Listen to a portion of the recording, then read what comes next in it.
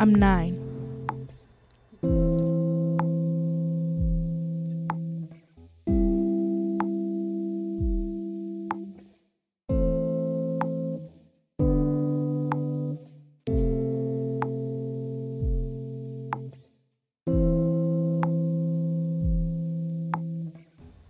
I moved to a new town and I don't like it.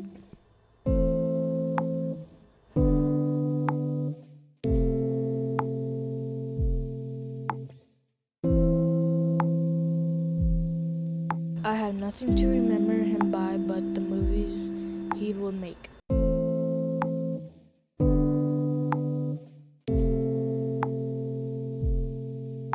My mom says he went to heaven. I hear his voice.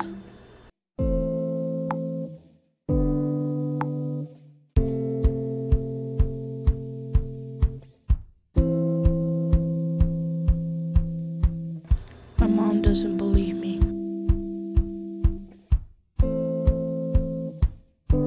I'm not supposed to have imaginary friends. I don't have any friends in my new town.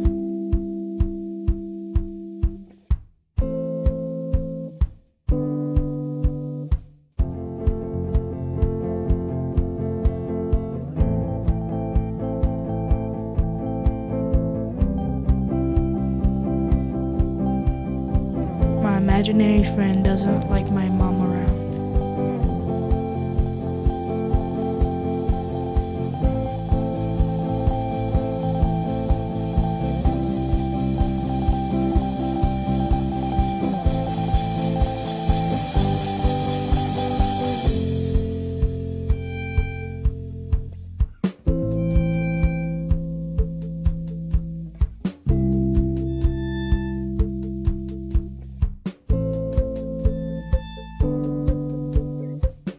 I don't want him to hurt her.